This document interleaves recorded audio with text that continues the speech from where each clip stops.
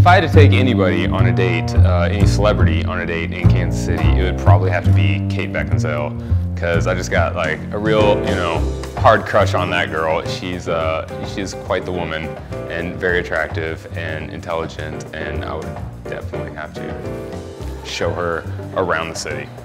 Well, for me, like moving to KC, the Crossroads District, it just it holds like a very special place in my heart. Like becoming family, working at the Rieger Manifesto, meeting Ryan Maybee, Howard Hanna, like seeing those chefs and like all the love that they put into their food and everything. I just want to do like a uh, kind of like a foodie's dream cocktail, uh, you know, restaurant tour through the Crossroads District.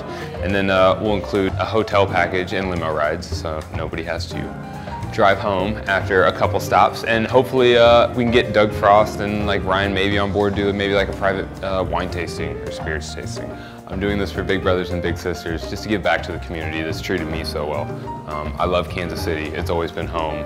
And to reach out and be able to do something uh, for other members in your community is, is just a fantastic opportunity.